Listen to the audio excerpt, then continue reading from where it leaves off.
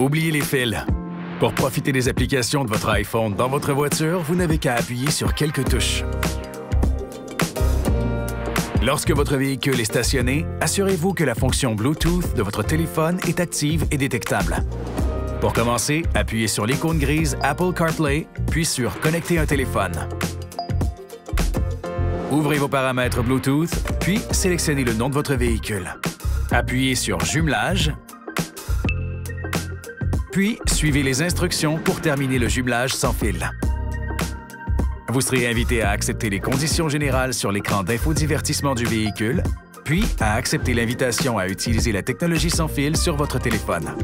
Une fois jumelé, Apple CarPlay démarrera automatiquement et vous pourrez accéder à vos applications. Vous pouvez également vous connecter en branchant le câble USB de votre téléphone sur le port USB de votre véhicule. Si vous ne l'avez pas déjà fait, vous serez invité à accepter les conditions générales et Apple CarPlay démarrera automatiquement.